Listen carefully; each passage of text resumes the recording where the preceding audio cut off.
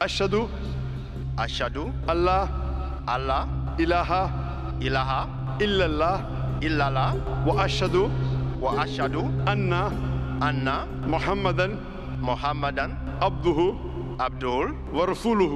بسم اللہ الرحمن الرحیم، السلام علیکم ناظرین۔ دین دنیا چینل میں آپ کو خوش آمدید کہتے ہیں۔ میرا نام بیزو لارنٹ ہے اور میرا تعلق کیمرون سے ہے۔ ایک پرائیویٹ کمپنی میں سیلز ایگزیکٹو کا کام کرتا ہوں جو یہاں دبئی میں ہے۔ اور دبئی میں مسلمانوں کی اکثریت ہونے کے باعث میرا مسلمانوں سے تعلق رہتا ہے، جنہوں نے مجھے اسلام کے بارے میں بہت کچھ بتایا ہے۔ میں نے کل بھی آپ کا لیکچر اٹینڈ کیا تھا اور اس کے بعد میں آج دوبارہ یہاں آیا ہوں اور مجھے آج بھی سوال کرنے کا اعزاز حاصل ہوا ہے۔ اس کے جواب ملنے کے بعد میں اسلام کے بارے میں اپنے ارادوں کا اظہار کروں گا۔ ناظرین، یہ ساری باتیں ایک افریقی نیاد شخص نے ڈاکٹر ذاکر نائک سے کی تھی جس کا دعویٰ تھا کہ وہ اسلام قبول کرنے کے لیے تیار ہے، مگر ایک سوال نے اس کو شش و پنج میں ڈال رکھا ہے۔ اور اسی وجہ سے اسلام قبول کرنے میں تاخیر کر رہا ہے، کیونکہ اس کو لگتا ہے کہ اسلام میں ایک چیز مسنگ ہے۔ آپ کو اس شخص کا سوال سناتے ہیں، پھر ڈاکٹر صاحب کا جواب بھی تفصیل کے ساتھ بتاتے ہیں۔ میرا سوال ہے کہ فرض کریں آپ نے ایک نئی گاڑی لی ہے، اس کو ٹیسٹ کرنے کے لیے سڑکوں پر نکلتے ہیں اور آپ سوچتے ہیں کہ اس کار میں کوئی مسئلہ ہے جیسے ہارن صحیح نہیں ہے۔ آپ دو باتیں سوچتے ہیں کہ اس کار میں ہارن تھا ہی نہیں یا پھر اس کار کا ہارن بعد میں خراب ہوا۔ ایسے ہی میرا دنیا کو دیکھنے کا نظریہ ہے کہ خدا نے جو کہ سب سے طاقتور اور سب سے ذہین ترین ہے، اس نے یہ دنیا بنائی جس میں ہم آج رہ رہے ہیں اور ہم تمام انسان آج ایک ہی چیز کی تلاش میں ہیں اور وہ ہے امن۔ یہ امن کہاں گیا؟ کیا خدا نے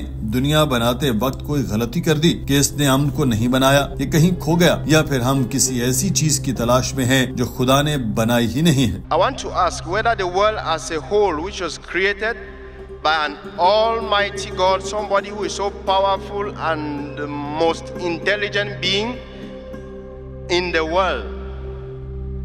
He created the world, we got into it, and we are today looking for peace, peace, peace, peace. Where did this peace go to? When the world was created by the most intelligent being on earth, is it that he made an error somewhere? Or we are looking for something that he did not want it to be in his world?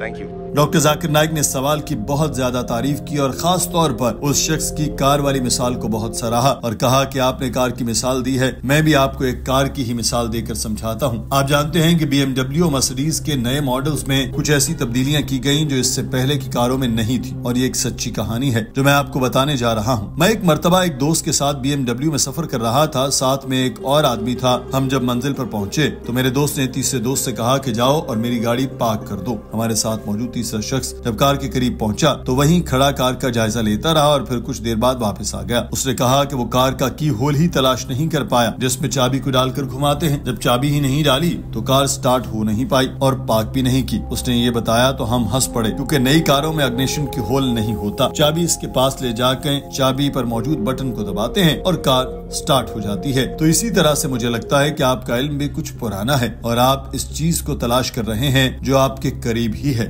Once when I was traveling with my friend, he told his friend that go and park my car. So when he went to the car, he said he could not find the ignition key. Ignition key. So he phoned my friend and asked him that where is the ignition key hole. So he started to laugh. The new cars don't have ignition hole. It is the latest technology. If the key comes close to the car, automatically it senses. You push the button, it starts. Latest. So if you're outdated, you may not know that there is no key hole required in the latest car. Doctor Zakir Naik نے بتایا کہ جیسے ہمارا وہ دوست ignition کے whole تلاش نہیں کر پایا ایسے ہی آپ بھی امن اور سلامتی کو تلاش نہیں کر پا رہے حالانکہ آپ اس کے نزدیک ہی نہیں اور امن کا سب سے مرکزی ذریعہ اسلام ہے اللہ تعالیٰ امن کا مرکزی ذریعہ ہے اگر آپ خالق کو ہی پہچان نہیں پاتے تو آپ سکون کے قریب بھی نہیں آ سکتے امن کی لوگوں کے نزدیک تعریف بھی مختلف ہے کچھ لوگ سمجھتے ہیں کہ وہ اگر لگژری اشیاء پالیں گے تو ان کو سکون مل جائے گا امن مل جائے گا اور سلامتی مل جائے گی کچھ پیسے کو سکون اور سلامتی کا ذریعہ سمجھتے ہیں، تو کچھ لوگ دنیاوی وسائل کو، یہ تمام امن، سکون اور سلامتی عارضی ہے، حقیقی نہیں ہے۔ حقیقی سکون دل اور ذہن کا ہے، روح کا ہے۔ جب آپ کا دل، روح اور دماغ امن اور سلامتی میں ہوتا ہے، تو آپ کی بے چینی ختم ہو جاتی ہے اور یہ سب صرف اور صرف خالق کو پا لینے سے ہی حاصل ہوگا۔ اس کے بغیر نہیں، جو اپنے خالق کو نہیں جانتے، اس شراب کے پیچھے بھاگتے رہتے ہیں۔ روپے، پیسے، وسائل، گاڑیوں، گھروں کو سکون اور سلامتی کا ذریعہ سمجھتے ہیں۔ جیسے کہ آپ کسی صحرا میں میں جائیں تو دور سے لگتا ہے کہ کوئی چشمہ ہے۔ جب آپ پاس جاتے ہیں تو وہ دراصل ریت ہی ہوتی ہے، جو سورج کی شعاؤں سے چمک کر پانی کا عکس پیش کر رہی ہوتی ہے۔ تو سراب کے پیچھے بھاگنے سے بہتر ہے کہ آپ اپنے خالق کو پہچانے اور اس کو پہچاننے کا سب سے اہم اور سب سے آسان طریقہ قرآن پاک ہے۔ جیسے آپ بی ایم ڈبلو کا لیٹسٹ ماڈل نہیں جانتے اور کی ہول تلاش کرنے کی کوشش کرتے ہیں، ایسے ہی آپ سکون اور سلامتی کا اصل ذریعہ نہیں جانتے اور اس کو تلاش کرنے کی کوشش کرتے ہیں۔ یہ تمام سکون آپ کو قرآن پاک میں ہی ملے گا Mirages. You know, when you go in a desert, you see mirages. So you run after mirages because you don't understand. And to understand the Creator, as I mentioned earlier, you require instruction manual. You did not read the instruction manual of the latest BMW and you're trying to find out where is the ignition key, where is the horn. You read the instruction manual, you will find horn,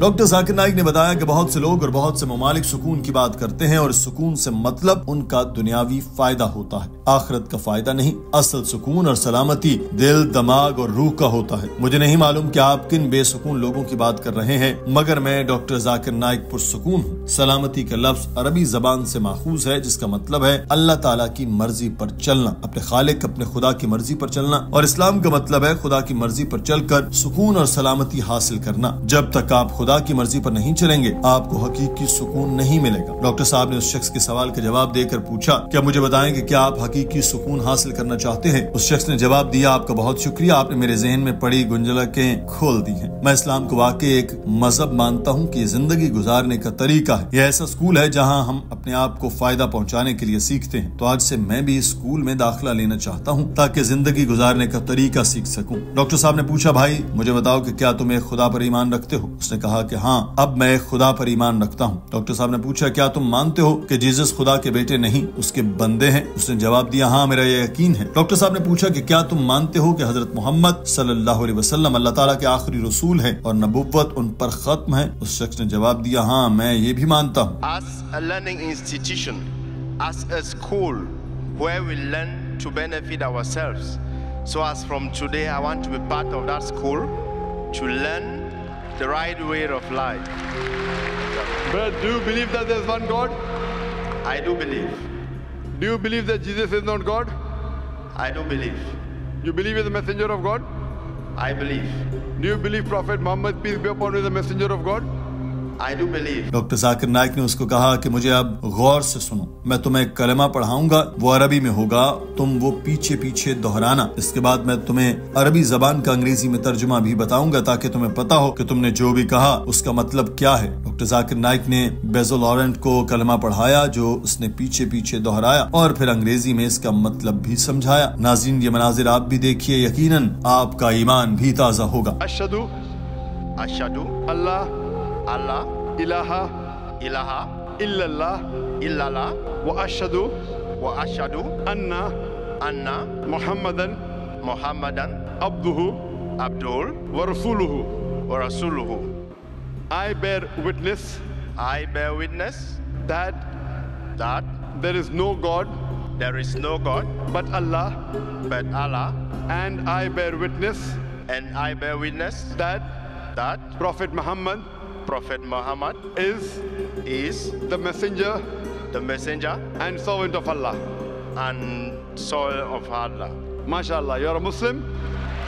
Doctor Zakir Naik نے کلمہ پڑھ کر مسلمان بننے والے بیزو Laurent کو مبارکباد دی اور دعا دی کہ وہ حقیقی سکون اور سلامتی حاصل کر لے اور دعا کی کہ وہ اپنے جاننے والوں کے لیے بھی اسلام قبول کرنے کا ذریعہ بنے۔ ناظرین، آج کی ویڈیو کے بارے میں آپ کی رائے کیا ہے؟ کمنٹ سیکشن میں ضرور آگاہ کیجیے۔ اپنا خیال رکھیے۔ اللہ حافظ۔